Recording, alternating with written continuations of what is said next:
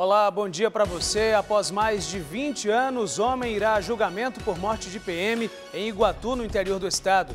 O JC 24 Horas já está no ar.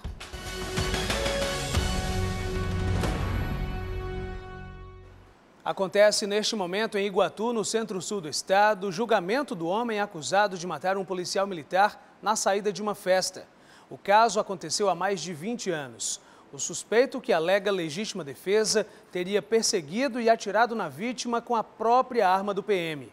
Já a família do soldado pede justiça pelo que considera uma execução brutal e por motivo fútil. Hugo Delion está na cidade e traz mais detalhes para a gente.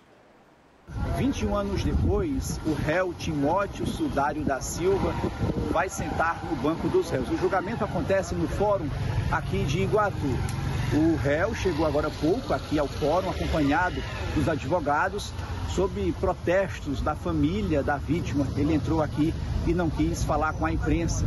A tese da defesa é de legítima defesa. O policial militar, a vítima, o Newton Moreira Lima, que foi morto com a própria arma. Ele estava de joelhos no momento da execução. Tudo isso após uma discussão que aconteceu, um esbarrão dentro da festa houve a, os ânimos foram acalmados, mas na saída o suspeito acabou fazendo uma espécie de tocaia e baleando, matando o policial militar. A gente permanece durante todo o dia de hoje aqui em Iguatu. Mais informações a gente traz logo mais no Cidade 190.